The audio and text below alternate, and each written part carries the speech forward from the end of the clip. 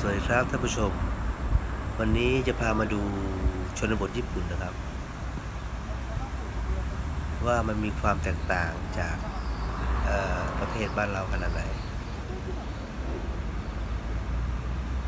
เสร็จแล้วก็จะดูซัดดิคานิเป็นกุ้งกล้ามแดงที่ที่ที่บ้านเราชอบเลี้ยงอะครับ ผมเรียกไม่ถูกว่าคือกุ้งอะไร ภาษาฝรั่งเรียกว่าอะไรผมไม่รู้ บ้านเรามีปลาคอนใช่ไหมครับ แต่ญี่ปุ่นไม่มีปลาคอนนะ มันจะมีก็เจ้ากุ้งกล้ามแดงตัวนี้แหละ แล้วก็หอย หอยคล้ายๆบ้านเราหอยจุกหอยโขงนี่แหละนะครับทุ่งนาก็สวยประมาณนี้นะเหลืองอาราม จะได้เกี่ยวแล้วแหละ อันนี้คือชนบททาง ทางไปอุดาวราชนะมาทำงานแถวนี้ก็เลย เก็บภาพสวยๆมาให้เพื่อนได้ได้ดูกันความแตกต่างมันก็มีต่างจุดจุดหนึ่งก็คือปูกับไอ้กุ้งตัวนี้นะครับ เนี่ยเนี่ยเนี่ยเนี่ยไอ้กุ้งตัวเนี้ยบ้านเราจะเป็นปูใช่ไหมครับ แต่บ้านเขาเป็นกุ้งนะความต่าง มันก็จะ ตอนนี้น้ำมันแห้งแล้ว เขาจะเกี่ยวข้าวกันแล้วเขาเขาจะไปมุดอยู่ในดินทำโพรงของปูนี่แหละเต็มเลยเขาขุดปูเป็นปูเลยอะตัวใหญ่นะครับไปกินทอดนี่เนี่ยขุดดูเป็นปูเลยนะครับจะสู้สู้สู้สู้สู้สู้จะ สู้สู้นี่นะครับเขาไปจับมาทำอาหารกันกินได้ครับกินได้เนี่ยเต็มเลยเนี่ยไปน้ำนี่นี่หอยพวกนี้เยอะ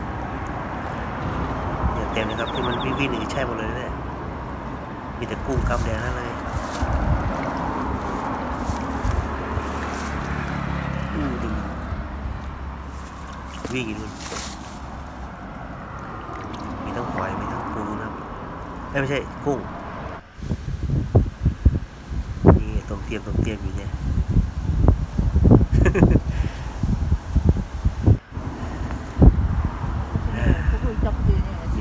มีปูข้าว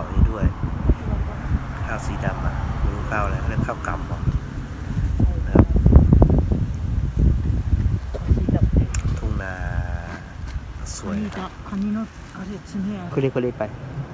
カニ นะครับมีหอยด้วยเนี่ย うん หอยจุกเต็มเลย カニほらとは足だもう死んでる เจ้า よ ตัวนี้กำลังมุดดินอ あ ยู่ っちの方にいるんじゃカニなんかいっぱいねあっちもダメか死んでんのか มีทุกที่จริงๆนะครับทุกคน 水がなくなったから死ん โอ้ だ นี่หอยเต็มไปหมดเลย ご飯食べた เนี่ยครับหอยเต็มหมดเลย そうそれ食べるそれ มาดูธรรมชาติบนเขา ว่ามีเมฆปกคลุมสว่าสวยขนาดไหนนะครับ นี่ชนบทญี่ปุ่นนะครับเนี่ย ธรรมชาติดีมากเลย ว้าว เป็นเทือกเขาใหญ่นะ เขาที่ใหญ่มากถ้าขี่รถขึ้นไปเนี่ยมองลงมาสวยมากนะครับทุกคนจะเห็นเอ่อเขาฟูจิด้วยแล้วก็ ที่ทัศน์สวยมาก ส่วนมากเขาจะไปขึ้นไปถ่ายรูป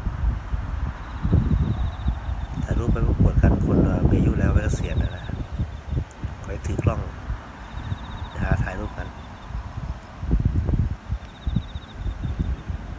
เป็นธรรมชาติสวยๆนะครับ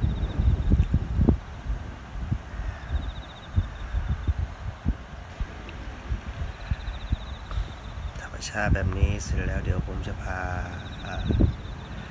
เพื่อนๆนะครับ ไปดูแปลงนาว่ามันเป็นยังไงบ้าง แปลงนาญี่ปุ่นแตกต่างจากบ้านเรายังไงไปดูซิเนี่ยครับก็เหมือนกันคล้ายๆกันนะ แต่มันไม่ไม่ค่อยมีอะไรหนูหรือว่าสิ่งมีชีวิตที่จะมากวนข้าวของน้ำว่าเขาก็จัดหมดเขาดูแลอย่างดีไงนี่มันก็มีหอยอะไรธรรมดาเป็นธรรมดานี่แหละไม่มีอะไร มันเราถ้าข้าวงามขนาดนี้หนูเต็มแล้วเนี่ยเห็นไหมไม่มีอะไร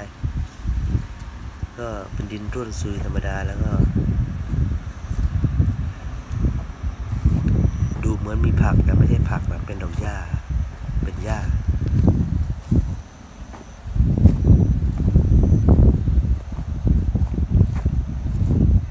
เห็นไหมครับทุกคน ก็ไม่ไม่ต่างกันเท่าไหร่ ต่างแค่ มันไม่มีปลาขอนเหมือนบ้านเรา แล้วมันก็ไม่มีปูเหมือนบ้านเราที่จะมาขุดไอ้ตามคันแทนาหรือไอ้พวกเนี้ยข้าวเป็นกลมๆเห็นไหม